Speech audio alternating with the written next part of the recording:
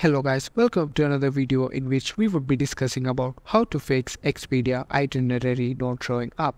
Are you having trouble that your Expedia itinerary is not showing up? Don't worry, in this video we'll help you find a solution for it. Just follow these easy steps. 1. Open the Expedia app and go to your trip section.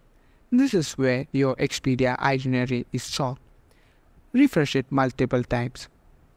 Doing this multiple times will help you recover any hidden itinerary. 2. Go to your account section and scroll down till you find sign out. Sign out of your account and sign back in after a few minutes. 3. Refresh your device. Most of the time, a simple reboot will help you solve the issue. To refresh your device, press the volume up button and the volume down button Press and hold the side button until you see the Apple logo appear.